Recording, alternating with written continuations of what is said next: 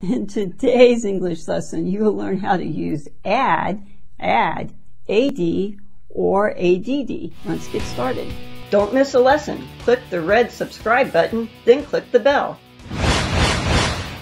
Hello, Real Fluency friends. I'm Trisha, and I'm here to teach you real English using real life so that you can reach real fluency now. And today, you will learn how to use the words ad and add and AD and ADD.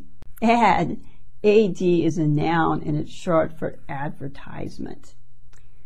Um, in formal writing, always use the long version advertisement. But for informal things, you can just say ad. Some sample sentences are, some websites have many ads on them. Facebook ads are a good way to get more people to visit your website he found a job working for an ad agency. And you should notice on the, in those sentences that I had to say an ad, not a ad, because ad starts with a vowel, so you need to use an instead of a or a in front of the word. Some related words are a want ad, which means an ad in a newspaper to let people know about something people want to sell or buy, available jobs, things like that. Something that's ad hoc is something made or created without being planned or for something special. A sample sentence with that is, we didn't plan to discuss it, so we'll give it to the ad hoc committee to work on.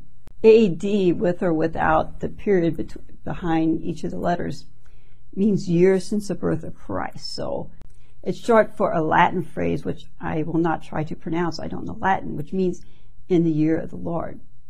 CE, on the other hand, means Common Era.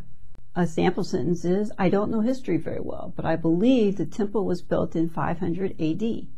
Add, ADD, is a verb which means addition, like 2 plus 2 equals 4, or putting things together to make a bigger group, or to say or to write more.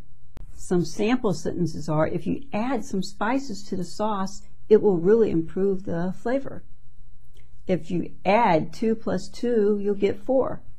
A related phrase is add insult to injury, which means to do something that makes something bad even worse. A sample sentence with that is after the bullies tripped the boy while he was walking down the hall, they added insult to injury by laughing at him. ADD stands for Attention Deficit Disorder, which is sometimes called ADHD, which is sometimes people will say that a kid is hyperactive if they have it. Another related word is additive, which is something that is added to something else to make it better, such as food or gasoline. Many food additives make food either look or taste better, but does it make them less healthy? Now it's time for the short quiz. Fill in the blanks with either add, AD, or add ADD, or ADD. Uh, number one, she got lots of new customers after running those blank on Facebook. Number two, if you blank more vegetables to your diet, you will be much healthier. Number three, this has two. It was hard to make a profit once they blank in the cost of the blank. Number four, his blank made it very difficult for him to sit still and listen to his teacher. If you want more practice, then try making your own sentence with add or add or ADD in the comments, and I will correct you and give you feedback. And that's all for today's lesson. But before you go, don't forget to subscribe to my YouTube channel and sign up to get emails and other things from me to help you with English. And if you have time, you can watch another one of my English lessons on YouTube. Goodbye, and remember, with hope, anything is possible.